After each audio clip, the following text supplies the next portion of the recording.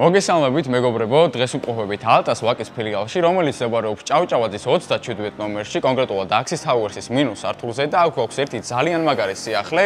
კერძოდ გაიხსნა gaming სივრცე, სადაც მე და თქვენ შეგვიძლია ნებისმიერ დროს მოვიდეთ და გამოცადოთ racing თამაშები.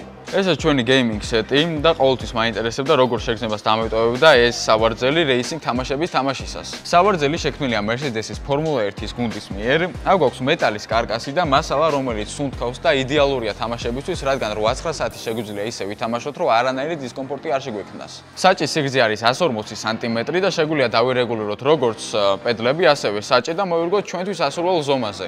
მოდი ახლა ჩავთვალოთ Gran Turismo 7 და ვნახოთ რეალურად როგორ შეგრძნებს დაგვიტოვებს ეს საჭე თამაშისას. სავარდლის შექმნის თავარი იდეა იყო ის, რომ თამაშისას თავი გვეგზო მაქსიმალურად Formula 1-ში და მიგვიღო ის შეგრძნებები, რასაც რეალურად Formula 1-ის მსხლობები გზობენ ავტომობილის მართვისას. მათ ეს ნამდვილად გამოუვიდათ, იმიტომ რომ მე პირადად თავს ვხდო Formula 1 მატჩი და ფიქრობ რომ მე შეგრძნება აბსოლუტურად ყველა რეისინგ თამაშის მოყარმა უნდა გამოსცადოს. აა საჭო გვაქვს Logitech G923, რომელიც არის ძალიან მსუბუქი, გვაქვს მეტალის კარკასი და ტყავის ეფექტი, რომელიც ასევე არის ძალიან კომფორტული თამაშისას.